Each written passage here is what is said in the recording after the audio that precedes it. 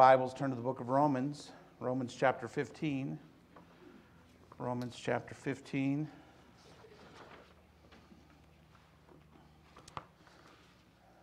And remember, we're going from chapter 1 with the guilty heathen uh, to the end, uh, chapter 16, where we see some wonderful saints. Do you know that all of us that have received Jesus Christ as our Savior, we're saints? That's what the Bible says. Uh, that, you know, we, the Bible refers to us as saints. That doesn't mean we're perfect people, um, but we're the saints of God. We're the children of God. We're brothers and sisters in Christ. Um, we're part of His family. And God um, has, gives us, calls us, we're a peculiar people. Um, moving from Michigan to California, mostly what we saw on television were the peculiar people in California. So we thought everybody was a little weird, okay? Let me tell you something. We're the normal people, okay? Um, sometimes we're looked upon as like the old fogies or people that don't have any fun in life and just, you know, wait. No, we, we are the people by the grace of, and by the way, just by the grace of God. I saw somebody the other day had purple hair. I thought, I wonder if the church would allow me to have purple hair. I just thought I would look good in that. I saw a kid who had his hair straight up like this. I said, I wonder, would the church, would the church mind if I wore my hair with straight up in the air, flat top about up this high? Would you mind? Okay, that was weak. Okay, I'm not doing it. Okay, and uh, but you know we we just want to look um, like God um, has created us and has given us an opportunity to serve Him. I had beautiful long blonde hair when I was in high school. I, I want to bring that picture and show it to you sometime, but I keep forgetting, so we'll never see it because I forget every week. But I was beautiful and just beautiful. And I went to church and and I saw the and eventually I trimmed my hair up a little bit and uh, and you know just uh, changed. I had big wide bell bottom pants. They're about this wide. My pants were and uh, platform shoes. When I went to church, that's what I wore: platform shoes, wide bell bottom pants, and um, if I would have lived out here, they would have thought I was John Travolta. It's a good thing I didn't live out here. Hey, John Travolta's at our church. No. And uh, uh, often people, when I talk to them back east, they think that movie stars actually just linger with it, you know, hang out with us. And uh, so I'll sometimes I'll say Tom Hanks was in church, and LJ, LJ looks like Morgan Freeman. Uh, LJ Jeter, he's not here this morning, he's working. He looks like Morgan Freeman. So I'll tell people, we have Morgan Freeman in our church. Um, Dwayne looks like Danny DeVito. And so we say, we got Danny DeVito in the church. And, you know. But all we are is just people saved by the grace of God. We're in church and uh, we're living for Him. Oftentimes, I'm just thinking about that people that hang out, the homeless people, and my heart wants to weep to have nobody, to just hang out outside of Walmart and that's it. For somebody to give me some money, sleep out there in the cold. That's sad to me. You see, we're not out there. And I know some people, some of them made those decisions, and I know that we can judge them. But I'm just telling you, by the grace of God, we're not out there. We're here. And we want to do what we can to help those people. So we go to the mission in LA and we strive to pray for people in our community. But by God's grace, we're here and we're, we're growing together. The Bible says in chapter 15 and verse 1 We then, that are strong, ought to bear the infirmities of the weak and not to please ourselves. Father, thank you for your love for us. I pray you'll bless now our time in your word. Speak to hearts. If there's one here, Father, that knows not Christ as Savior, I pray that today they would open their heart and receive Him. And thank you, Lord, in Jesus' name. Amen and amen. Thank you. you may be seated. So we're looking through the scriptures here. we've seen we're just sinners saved by the grace of God. It's just by the grace of God that you and I are in church. And that we're not just lost. Again, I mentioned uh, last week, you know, that I watched uh, a good majority of the funeral celebration or the celebration service for Kobe Bryant. And uh, many people idolized him because he was a great basketball player and won some championships with the LA Lakers. And, and, uh, um, and because they knew him because of basketball, they knew him because he played basketball. And, uh, and then all of a sudden, he's just dead. That's a sad thing. He died, his daughter, and the other seven people that were on that helicopter. And so people, people um, are thinking about eternity. We got the coronavirus going around, you know, different parts. That's just kind of strange to me. That, that almost doesn't seem real because the Bible talks about in the end times there'll be wars, rumors of wars, there'll be earthquakes and all kinds of natural disasters, there'll be diseases. You know. Now we've had diseases. I read something and I that I think 28 million people died from AIDS around the world over the, over the years. I read that. I'm not, I should make sure of that, but it was a large number of people. And they came up for a, you know, the, uh, you know, some treatment for that. And, uh, and so death and difficulty um, is out there. And, uh, and yet, uh, we as believers, we're trying to win people to Christ. We're trying to give them salvation, prepare them for death, prepare them for eternity, so that when they die, they'll know they'll be in heaven. And we found that, we find that in the book of Romans, the most, most uh, popular part, or not part that we would, or I would, anyways. I'm sure our missionaries, the Romans Road. Um, for all have sinned and come short of the glory of God. And, uh, but God commended his love towards us in that while we were yet sinners, Christ died for us. To imagine that Jesus died for you, though you're a sinner. The fact that Jesus loves you just the way you are and when you sin, you can confess your sin. And if when you confess your sin, He is faithful and just to forgive you of your sin and to cleanse you from all unrighteousness. There's nobody like Jesus.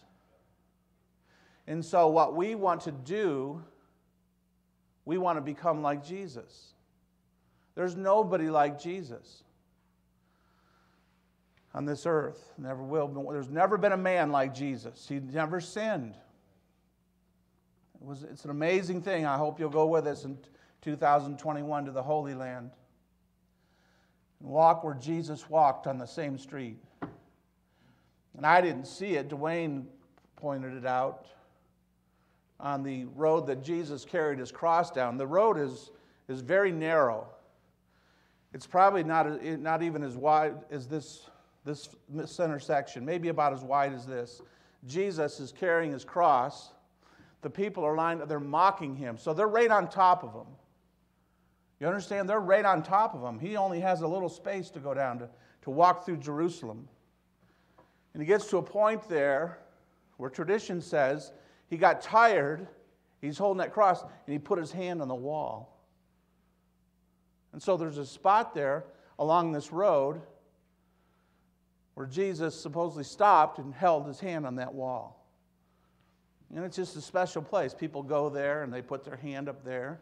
I think Dwayne did that. I, I don't remember seeing that the first time because it's just, there's so much to see. But Jesus, you know, I, I took a taxi cab, and the, boy, the young man was Muslim, and I told him about Jesus. He lived on the Mount of Olives. Can you imagine living on the Mount of Olives? That's where Jesus is going to, that's where he ascended. That's where he's going to plant his feet he, when he returns. I told, I was telling this young boy about it. He says, Are you really? I've never heard that. I've never heard that. Jesus is coming back. He's going to plant his feet on the. I said, Yeah. there's going to be a great earthquake. Your house is gone. Be swallowed up. You're going to be swallowed up in it, you know? In my gracious way that I like to say things, you know. Yeah, you're going to be swallowed up. Can I have your car after you get swallowed up? You know. He's like, and uh, and so he was a man. He was the God man, God in the flesh. You understand? He was just like you and me. He had a body.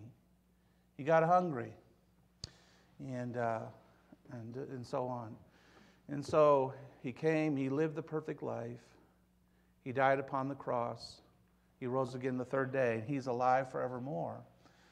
The book of Romans, really, as Mike mentioned, the books of the Bible, um, which I've mentioned here often, this one verse that really, as I think about this Bible study, the thing that sticks out to me the, the most is that is by one man's sin, disobedient, uh, one man's disobedience, many were made sinners.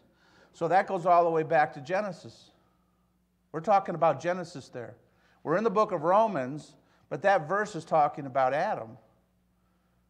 It's talking about in the beginning. You understand? So we go from Adam in the book of Genesis to 4,000 years later when Jesus comes on. So he's born into this world of the Virgin Mary and he lives the perfect life. The Bible says, is by one man's disobedience, many or all people were made sinners. So as by the obedience of one shall many be made righteous. That's Jesus. So we go from Genesis, now we're talking about Jesus.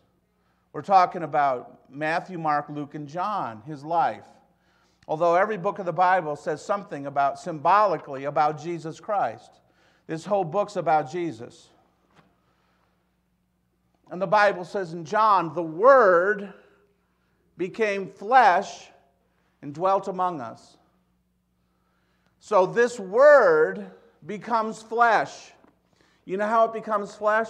When you become a Christian, the Spirit of God comes inside of you. When you get saved. And now the Spirit of God leads you. Well, how does He lead you? He leads you from the Bible. So basically, the Bible says we're living epistles, known and read of all men. There's somebody reading your life. Mom and dad, your children. You can teach them the Bible, and you should.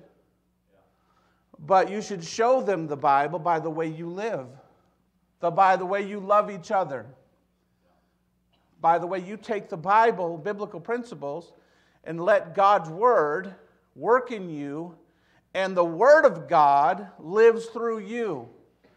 Jesus lives through you. You see, you don't, you're not the same. You don't look the same.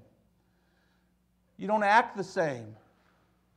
You understand? You, you, you're, if you had a problem with anger, you, you, get, you get cured of that problem. That doesn't mean you'll always be perfect, but you get better. You understand? You change. If you're more self centered. So we're looking to go from Romans chapter 1 to Romans chapter 16 and along this process, people become Christians, they get saved.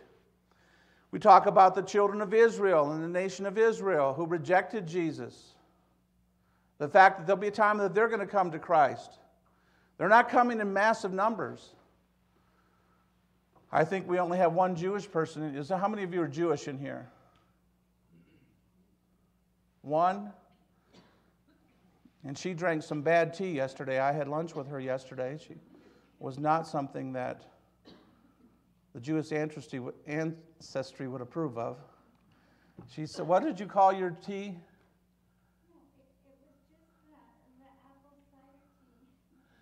But she called it hot or something. And I thought she meant like, you know. That's what I thought she said. You know it's bad when you can't hear well anymore, right? I said, Did she just order that? Why is she ordering that with me, the pastor sitting with her? You know, when you can't hear very well, you think people say something. It's like, that was odd. so we're walking around judging each other. We can't even hear what each other said. that was rude.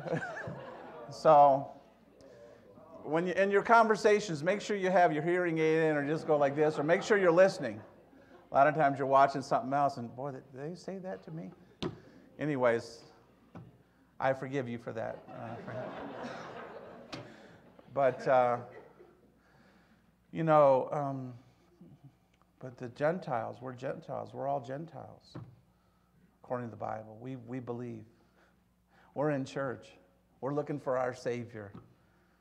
It's like old John R. Rice said, guy got on the uh, elevator with him in Atlanta, Georgia. John R. Rice kind of wore, he wore bifocals, so he, he wore them a lot, so he looked like, he, he would look over his bifocals at you. And guy got on, stuck a gun in his stomach and said, hey, give me your money or I'm going to kill you. You know, the elevator closed, it's going. He looked like this and said, son, I'm ready for heaven. Go ahead and shoot. I'm ready. You can't threaten me with heaven elevator stopped, the guy got off and ran from him. You know, how, how can you threaten somebody who's ready to go? You know, you see, we're ready, and we're getting other people ready, and God wants us to have an abundant life. You see, the abundant life is found in the book of Romans. Because we, we get to that in chapter, well, chapter 7, he talks about, Paul talks about his defeat. He's defeated. So much. Things I wish I, things I should do, I don't do. Things I shouldn't do, I do. He's saying he's a human being. And he's fighting this flesh. He's probably one of, outside of Jesus, the Apostle Paul, walking on this earth. He's a great man. He's a great man. And yet he wasn't a perfect man. And so we're finding that when we come to Christ, we're not perfect, but we're being perfected. I heard somebody say the other day they're in perfect imperfection. That's what we are. We're perfectly imperfect. Nobody in this room is perfect. But wait a minute, we've all gotten saved. We have Jesus Christ in our hearts. He loves us. Nothing's going to separate us from the love of God. Nothing. He loves us to the end. For I am persuaded that neither death, nor life, nor angels, nor principalities, nor powers, nor things present, nor things to come shall separate me from the love of God which is in Christ Jesus. You see, Jesus died on that cross. That's, that's chapter 8, Romans chapter 8, verse 38 and 39. We are more than conquerors through him that loved us. Chapter 8, verse 37. So, no matter what hits us, we're conquerors. We're conquerors. We're conquering grief. We're conquering depression. We're conquering difficulties. Now, it's not easy, and the, the road, God never promised the road to be easy, but He promised always to be with me. He never promised that uh, my path would be easy, but the Bible says, Thy word is a lamp unto my feet and a light unto my path. Right? And so he's what he tells me what to do today. I'm you know what I'm doing? I'm in church. This is Sunday. I'm in church today. I'm worshiping God. I'm with God's people. That you God's brought you here. I went by, we went up to Oak Glen with the senior saints yesterday. That's where she was drinking. But that, that was, uh, we went with the seniors. We went by. Roy and Danielle got married up there at the one area up by behind this big barbecue place. And I went to the wedding. It's hot. I'm doing the wedding. I got on a black suit, white shirt, tie, but it was more of a casual thing.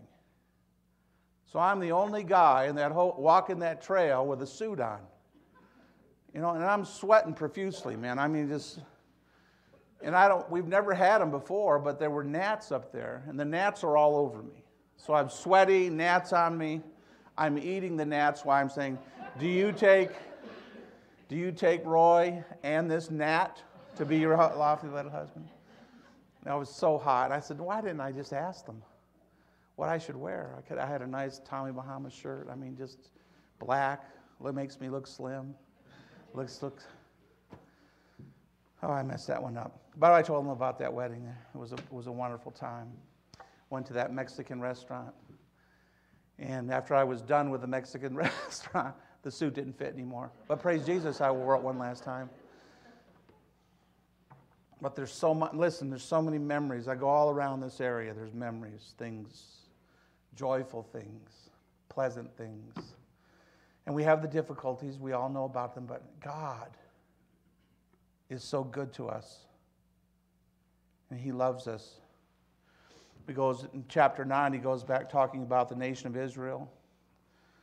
And God still has a plan for the nation of Israel. Jesus is going to rule and reign from Jerusalem one day.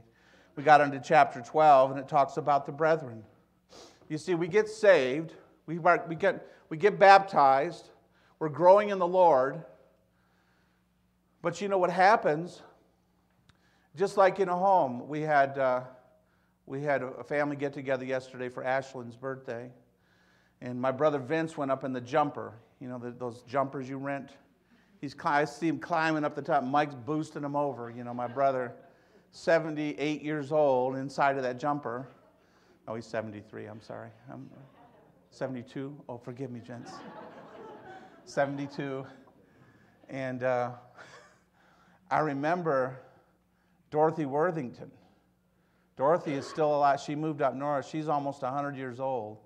And we had a jumper out back here and she goes inside the jumper. At that time, she's about 90. And one of the, kid, the kids, one of the big guys went and jumped, boom, and just blew her right out of the door. We caught her. Dorothy, stay out of the jumper. I actually think it was uh, Mrs. I can't remember. Dorothy's on, on the swing set and she's going down the slide. She's like 90. I say, Dorothy, come on. You're not going to make it to 100 if she's still living. But so many things. We do so much to this is a family. God brought us all here. You're here. Listen, I'm in California because I got saved and God called me to be the pastor of this church. We're born again people coming from different parts of the world, in many cases here. I love it, California. I brought my brother around looking at the school here. He said, Man, there's people from all over the world here. These students are so wonderful. let me tell you something if the United States of America was like Calvary Christian School, with kids from every walk of every nationality, all, and they just love each other and they go out on that playground and play and everybody has fun. You understand? They're not looking at what color they are or what they have or where they're from or how much they have. They just come in, they wear the same uniform, and they love each other, and they go out there and they just have a blast. Do you know that God wants life to be a blast? God didn't save us to be like a bummer. I, you know, send his son, die on the cross, create this wonderful world for us, the ocean. We went to SeaWorld, and uh, my brother Vince wants to ride on Shamu. He says, Can I? They wanted a volunteer to go on the whale. Vince is strapped on him. No, it didn't happen. They used to do that.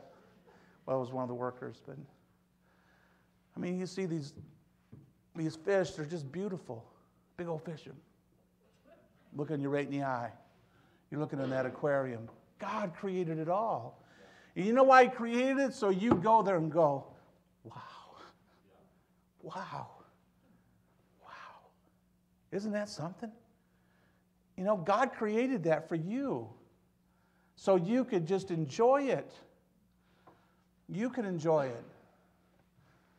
The kids made me birthday cards. I was looking and they drew them. You know, they just come up to me, here, Pastor.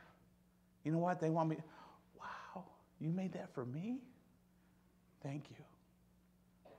Thank you. You see, our creativity, we love to do something creative, little notes, you know. And uh, God did all this for you, created that ocean for you, created the mountains the trees, the flowers. I love to go to Palm Springs this time of year. So many flowers out there. And when you just look at it, you say, wow, what an awesome God. What an awesome God. He did it for you. And so here we are, a family. We've been saved, born into the family of God. But some folks have been here, some folks in here were saved on the ark. You know, Noah, they're, they're older. They've been saved a long time. Other people, by the way, you could be older and still be young. My brother Jim got saved at 59. You understand? Um, some people are older. Now, it doesn't happen that way very much, but sometimes people are older and they get saved. But we're constantly seeing people saved. So we have new believers. We have new babies. Our, our youngest daughter is Char- uh, granddaughter Charlotte, we call her Cece. She's just born in the last few months. So yesterday when we were having that birthday party, she just cried. All she did was cry and sleep. Cry because she's hungry and cry because she wanted to go to sleep. I felt like her. I went in and lay down on the couch. They say, Where's dad at? He's in the other room sleeping, sitting up, you know. I ate too much. I ate, I ate the men's prayer breakfast, and that was my duty. And I ate with lunch with the seniors. Again, my duty as the pastor. I'm not going. And I'm not going to go and eat, not eat much, make them feel bad. Some are drinking, some are eating. You know what I'm saying? It's like, I'm going to eat something, so I did that. By the time I got to that party, I was just like, I wanted to get in the jumper and just go to sleep. Just let me jump me around. But it's a family. We're blessed. And we're enjoying one another. What we have to be careful about is that, in our case, we all come from different places. We come from different parts of the country. We have different personalities. We're not all the same. Think of everybody, everybody in here was like me, had my personality. Would that be great, Scott? No, he wouldn't. Thank you for saying that, Scott.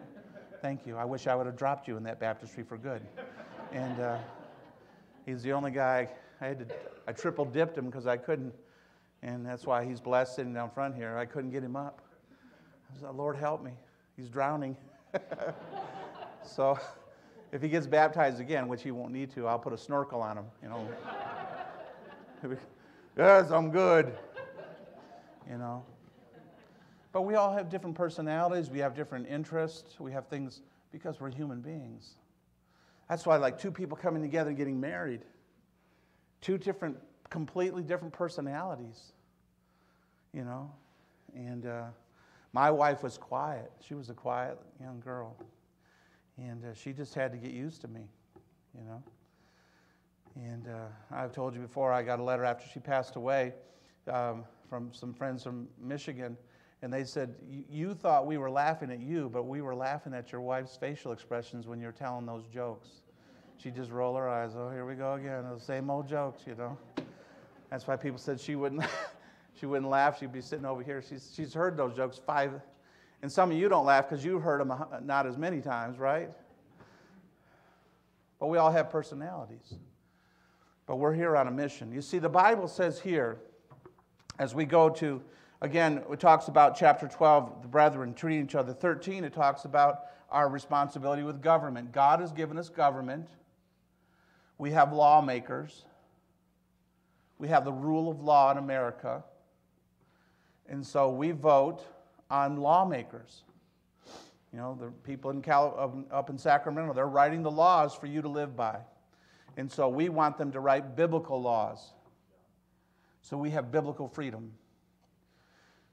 And again, we believe in life, so we're against abortion. We believe in the families. Adam and Eve were created in the Garden of Eden, so are husband and wife.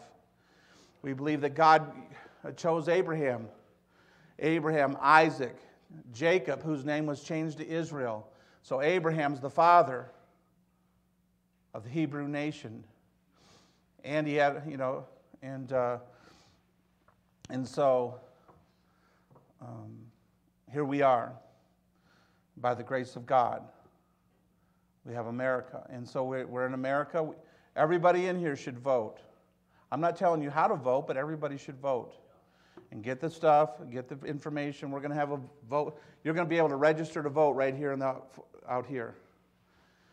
If you're like me, you don't want to go stand in line at the DMV to get your license plates. Oh, by the way, I still have to get my, my vehicle fog, smogged, fogged, smogged. I got to get that done. You can register to vote right here. You can, you can, you can vote by mail. I just got mine done. I just put it in the mail. And, uh, but you should. That's your voice. You have a voice. And so you vote. You know, you, you, you just exercise that. And that's what the Bible teaches us here. They're ministers of God. That's who they are. Romans chapter 13, verse 3 For, the, for rulers are not a terror to good works, but to evil. In other words, what that means, if you're not speeding, you don't worry about when you see a policeman. But if you're out there, you know, you're, the traffic flows 90, so you're going 85. You know, well, it's just I'm going like. You know, and you get pulled over, you're not happy to see the policeman. That's what it says here. The rulers are not a terror to good, but they sure can be terror to bad. If, you, if you're speeding, you get a ticket. If you break the law, you get arrested. You understand? So they're here to protect us from evil. And God has given us a government. And we have a responsibility to vote. Then we have a responsibility to obey the laws and follow. It's for our protection. And then we get into chapter 14. We talked about new believers. And in this chapter here, it talked about those that, uh, that before they were saved, they worshiped idols. And they would go to the market and there would be meat, certain meat, that you would buy to offer to idols. So now they become a Christian, and the Christians are eating that meat. Hey, isn't that, where you, isn't that the meat you buy to offer to the idols? We shouldn't eat that meat. That's bad meat. They, had, they didn't know that meat is just meat. You understand? There's nothing wrong with meat. Just like I, I said this last week, there's nothing wrong with money. Now I'm carrying around a big wad of money here. I got a dollar bill. I should have used a $100 bill for this illustration. But there's nothing sinful about that. You understand? You put that dollar down there, everybody wants that. Back when we were young, Vince, we could have bought a lot at down there at Penny's, right down the street there, right? Got some candy, a couple cokes. Now that doesn't even buy the doesn't buy anything today. But you see, there's nothing wrong with money. It's when we get the money and it changes us. You see, there's nothing wrong with that. There's nothing wrong with the house, but if the house becomes our focus, then we don't, we don't, the house becomes an idol then. Because it comes between us. Well, I got to mow the lawn. I can't go to church. I got to mow the lawn. Well, I'm painting the house. Well, no, paint the house another day. You know what I mean? Go to church. But some people, you'll see them out working in their yards today. I'm glad I'm in the house of God. Amen? So there's nothing wrong. So, in and of themselves, we, we talk about gun control. And I, I don't own a gun, I own a BB gun. And I can't find the BBs to it. So, it's, it's not going to help me at all. But, you know, people that own a gun, that's okay with me. I've never shot a gun in my life. A BB gun, yeah, I've never shot a gun, but the gun is not evil in and of itself. The evil person picks up the gun. Now the gun can become evil. Right? And so we talk about gun control, we talk about different things. Man makes things evil if they're an evil man. And so that's what's happening here. But by the way, we don't talk about that a lot here because that's, that's something that's a private thing. Now, if you live in Texas, if you went to the church where the Rick Webb's going to, I bet half the men in that church are carrying a gun. You understand? That guy, remember that guy in Texas there when they started shooting people? Immediately the guy got up and shot him. They're all carrying guns. In Texas, you carry, that's just a natural thing. It's not because of, that's just what they do. By the way, we went up to the restaurant yesterday and the, the waitresses were carrying guns. Were those real guns? Oh man, I'm not going back there. I, I can get an apple pie somewhere else, man. It's like, she'd come up, she said, uh, you, Are you leaving a tip? And she pulled that gun back. I said, Of course I'm leaving a tip. What do you think? What do you want? You know? And uh, so, and so here we are we're living in this world. We're born again people. we have new people coming into the church. This is a family. And we have, so we have pe- new people getting saved and coming into the church. And so we have to, we have to be kind and we have to be considerate of new people. We have to be considerate people come from different, a different church, different types of churches, you know. We have our church, that's why we have a church covenant. We have, we have standards for the choir and the ushers and so on. But everybody's welcome here to come and worship. You understand? Like in other words, I can get on the plane, but if I want to be a stewardess, I don't think I would be a very good stewardess. But I wear the stewardess uniform, right? I can go into McDonald's, which I love to do, but if I'm going to work there, I got to put on their uniform, right? And so it's just we we are representing McDonald's or the air. You know, I always wanted to wear be a pilot, you know, but um, I'm not going to be because I'm afraid of planes. That's a whole other story. And so here we are. Look, look at here at our passage. Well, let's look at four, chapter 14, verse 1. Him that is weak in the faith, receive ye, but not to doubtful disputations. For one believeth that he may eat all things, another, who is weak, eateth herbs. So they're not eating the meat. So you know what you did? You know what they decided? You decided, we're not going to eat meat. If you have somebody over to your house who's a vegetarian, you're not going to cook them a big steak, right? Or if you somebody says something about their birthday, you're not going to withhold that steak dinner from them, like Dwayne is trying to do with me on that steak dinner. Understand? I, by the way, I respect Dwayne. He doesn't like us mentioning his birthday, so I didn't. You know, he's he's a little more shy about that, and uh, and that really is the truth, even though I'm kidding him. But that's okay. You understand? We all have, th- we celebrate things a different way. Does that mean one person's right and one's wrong? No. We're a family. And so the Bible says that we're not to judge one another. Look at verse chapter 15. It con- continues on along that line. It says, We then that are strong ought to bear the infirmities of the weak and not to please ourselves.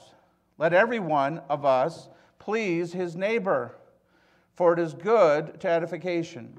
Now, he's not saying that you should, you know, we're talking about forbearance here, forbearing the brethren is our first point, and tolerating things. That doesn't mean we live to make everybody happy. But if there's something you can do for your neighbor, not to, to, to that they, you know they don't like, and it's not a big deal. Some people don't like you parking in front of their house. You know, right? How many of you have a neighbor like that? All right, you know what I'm saying? So I'm, I'm going to come over, I'm going to park over there then, James, when I come over your house. No, you say, okay, I'll park over here. Now, when they have company, they all park in front of your house, but that's a whole other story, you know what I'm saying? So, okay, I'm not going to do that. I'm going to forbear. I'm going to try to get along with them if I can. I'm not just, well, I'm going to do that just because they don't like it. No. The Christian, even uh, in our internet, if it, if it cost us something that we could do, we just don't do it. Look at, look at verse 3 For even Christ pleased not himself, but as it is written, the reproaches of them that reproached thee fell on me. So we're talking about forbearance. The Bible says, bear. Bear the infirmities. Overlook. Um, the Bible says you ought to. You ought to bear the infirmities of the weak. It, it, it gives us a condition of obligation. And we got a lot of different people in here. So, you know, we, we, we're obligated to, to love one another and to be forbearant or have forbearance in some areas in life. Listen to me. You, you are going to get offended in church. May I say this? You're going to get offended in your family. Uh, may I say that? You're going to get offended. When you get married, you're going to get offended. Somebody's going to offend you. Matter of fact, you may get offended today. So, what, what do you get offended about? If you get offended, Well, that's just uh, offended. Uh, uh, oh, uh, me. So what do I get offended about? See, what I get offended about is something that I want and I like, so I'm just kind of being selfish. I don't like you to say. I don't like you to do that. So when, when my wife and I got married, we had to work on our offenses. Then we had to work on our defense. Yeah, whoa, you know. We grew together. We grew in love. We grew, we, you know, the house, and everything, the car. We had to, you know, different things. You did things differently. I remember when my wife and I were dating, I ate half her food. She would only eat half her meal. I'd eat my meal and her meal. After we were married a little while, she ate her meal and my meal. I said, honey, you got to stop that. That's mine.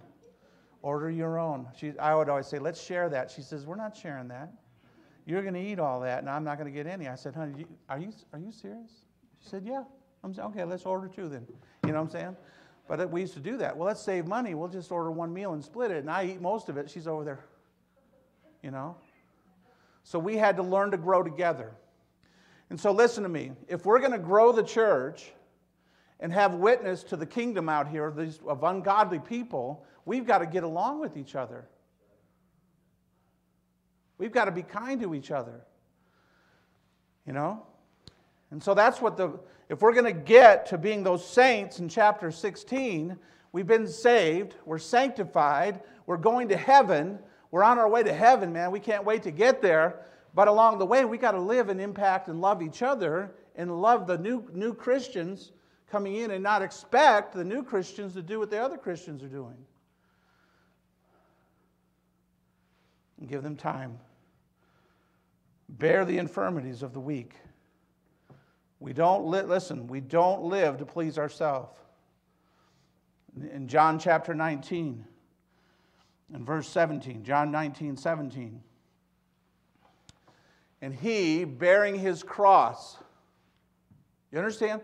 Jesus, bearing his cross, went forth into the place called the place of the skull. So Jesus is bearing his cross. When he's bearing his cross, church, he's bearing our cross. He died in my place. He died so I could be forgiven. He died so I could go to heaven. So what we do, I'm not I don't have to die for anybody, but I die to myself. I bear the cross and say, "You know what? I'm not going to do that because that's offensive to them." You understand? I don't want to offend them. Again, I told you about my friend Mark Rasmussen. They were very conservative in their dress. We were coming back from the beach from Florida. We had flip flops on, shorts, sand on us. My little girls had shorts on. So we didn't stop and see them. I didn't want to offend them. Their little girls wore long skirts. We were in flip flops and shorts, heading back to Michigan where you'd never see your feet again, you know, because you couldn't wear flip flops in Michigan. It was April. And every time we went back home, there was a snowstorm. We'd say, Why did we come home? And now we live in California where the sun shines. I love California.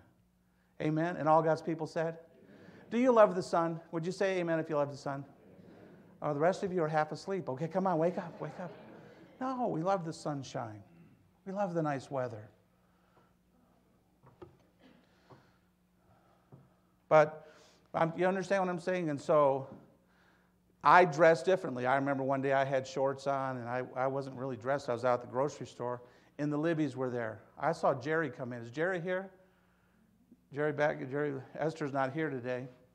But they're very conservative in their dress. Well, I'm out there and Connie Libby's in there and the family's shopping and I got shorts on at Albertsons. So I'm going down the rows. I'm shopping so they can't see me, you know. I was like, oh no, there they are. The family split up. They were finding me. You know what?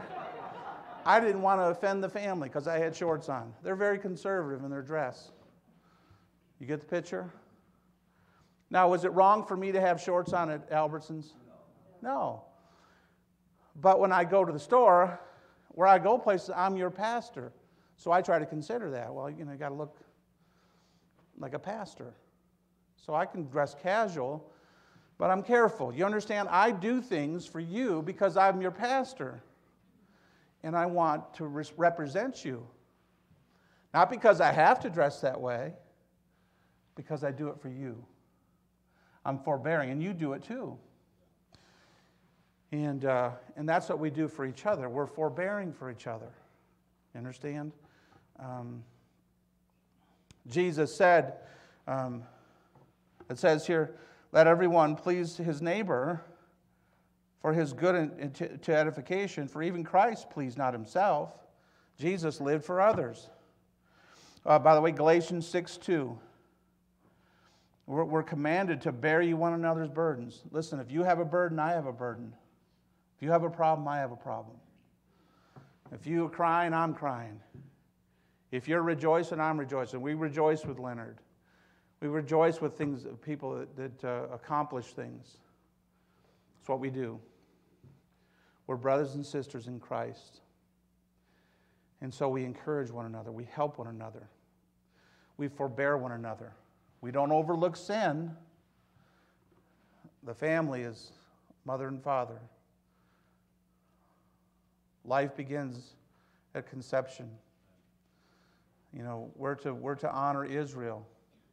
The Bible says, I'll honor those who honor you. And so we honor Israel. It's where our Savior was, was born, it's his birthplace. It's where he's coming back to. So we're going to support Israel, the nation of Israel. And so we need to live the crucified life just like Jesus carried the cross. We need to bear one another's burdens. And we need to seek seek to live peaceably with all men if possible. I'm not looking for a fight. I may get in a fight, but I'm not looking for a fight. When I go to the store, when I'm out in this community, I want to be a blessing to people if I can bring a smile to their face for a moment. We don't know what those other people are going through. That person down the store that's rude to you, you don't know what they're going through. And you don't know if they have Jesus. You have Jesus. You may be going through the same thing, but you have God. You have Jesus. You're okay. No, you're not okay, but you're okay. You know what I'm, those of you that are going through some, you know what I'm talking about. You're not okay, but you are okay.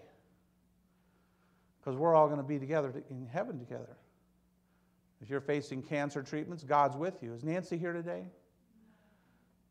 Nancy's going through cancer treatments, you know. And so we pray for her, we lift her up. And uh, we're all praying for her. And so we love one another. We come in, and uh, you know what? Sometimes people get saved. The hardest thing they have to do is to forgive themselves because they have sin in their past. May I suggest, may I tell you, the Bible says He removes your sin as far as the east is from the west. He doesn't remember it. You understand? He blesses your life, and He loves you. And so we, what we do is move forward. We confess our sin and we move forward. Let God use us and bless us. And all God's people said, Amen. Father, thank you for your love for us. Thank you for this wonderful book. Thank you that nothing can separate us from your love. Help us to be forbearing one to another. Lord, we want this church to grow, but we're not going to grow if we're, if we're not considerate of each other and, and loving each other and uh, being a blessing to each other. And Lord, sometimes we don't get to shake a hand or say hello to somebody, but Lord, uh, help all of us to and understand that you know the church isn't real big, but it's big enough to where there's different exits. We don't always get to, to say hello to each other. But God, it's not because we don't care about one another. But Lord, help us to be sensitive and uh, just to minister to one to another. Then the new people coming in to be a blessing to them and help them. We love you, God, and we look to you now in Jesus' name. Amen. Would you stand with me, please? We're going to sing.